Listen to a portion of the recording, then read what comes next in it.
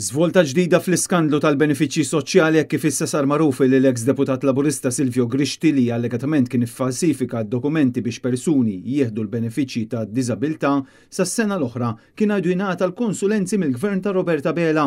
Dan minkejja li l-Prim Ministru, għal aktar minn darba, ftaħar li ħa azzjoni quddiem dan il-każ serjissimu ta' frodi Għalkemm il-provi sa issa kulħadd qed jimplika direttament lil Kastilja. Fi stqarrija l-Partit Nazzjonalista nsista li huwa ta' għajb illi tmexxija tal-Partit Laburista qed titfa' l-ħmieġ fuq ħaddieħor iżda ma tweġibx għal dan is-serq u l-frodi illi qajjem rabja kbira fost il-poplu Malti u Għawdxi kollu.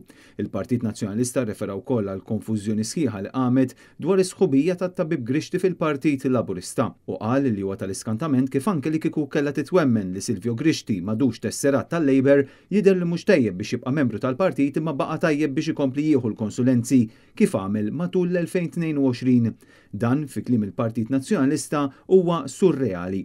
Skandlu li lanqas id-Deputat Mexxej Laburista Daniel Micallef ma ried jitkellem dwaru.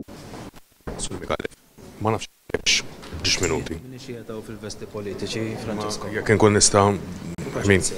Minkejja li pprova jattakka lil crew ta' Net News, il-fatti jibqgħu li dan l-istazzjon kien preżenti għal din l-attività tal-Gvern għaliex kien mistieden, attività li kienet miftuħa għall-ġurnalisti, iżda li matulha l-Perit Micallef ħassu skomdu jwieġeb id-domandi dwar is-serq mill-benefiċċji. Fil-Qorti sa issa tressqu biss uħud min-nies li ħadu dawn il-flejjes. Iżda ħadd mill-hekk imsejħa ħut il-kbir għadu ma tressaq u ħadd ma jaf fiex waslu l-investigazzjonijiet tal-Pulizija.